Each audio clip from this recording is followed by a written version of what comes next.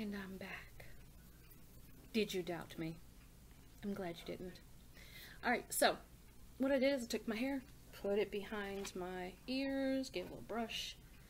So now we're ready to get into the face. Normally what I do is, if it'll cooperate, I take a face wipe and I will clean off my face. Did I take a shower? Yes, but I have sweated since then and I do not want any of that under my makeup when I start. It's gonna happen as the day goes on, but it won't be as bad as it would be if I didn't do this step. Uh, sound like an old lady. I'm sorry. I'm an old lady too, so I can do that. Now, if I look at my face and I can see that I need some kind of help somewhere, which I don't know if there's much help for it.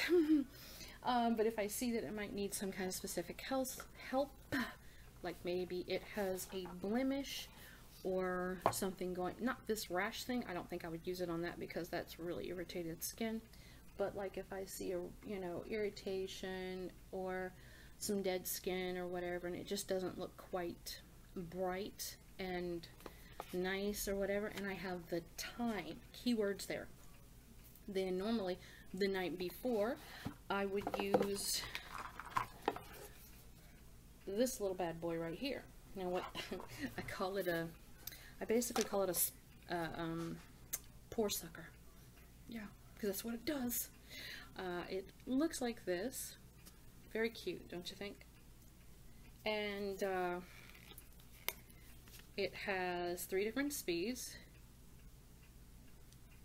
Wait a minute, I gotta hold it down. Speed number one, can y'all hear that?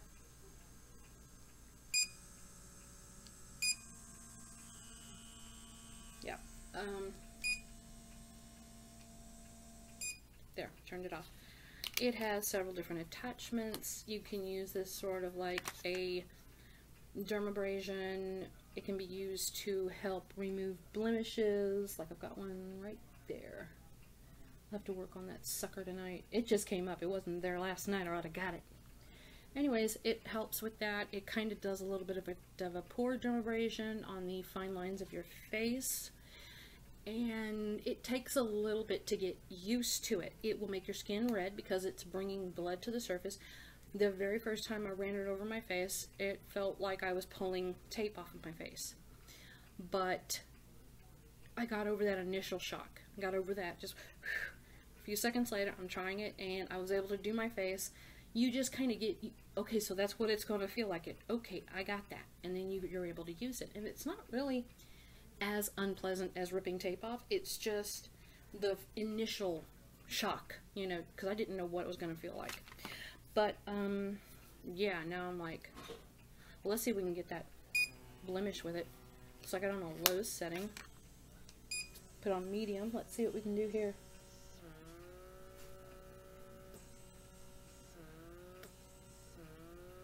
that's the main thing. You're supposed to, and that redness will go away.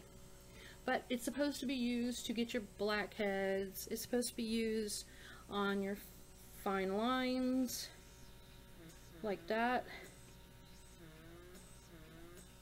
And, I mean, I've got like little crow's feet. There we go. And what that does, it'll help it plump up. Oh my god, I actually did get that. It's a little red, but that'll go away. I turn red when I just go through life. But, uh, I haven't tried it on my nose to get rid of blackheads yet. Y'all want me to do that? Do you? If so, comment down below and I'll do it. Trying to turn it off. I forget how to turn it off. Um, it's supposed to, it's even got a, an attachment that you can use like right around your mouth here. And it's got a pair of tweezers and it's got this little Dumalolly right here, which is gonna help, you know, you, you run across your face to get blemishes out, like you would do it here and you'd go, press down like that and you run it over it and it's supposed to remove it for you. I get dead skin cells. Yeah, I got nothing because I already did it.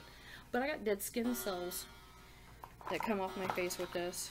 Best way to use this is right after you've washed your face while your face is still a little bit damp because then the dead skin is softened and it will really come off your face. I mean, it's amazing. I love it.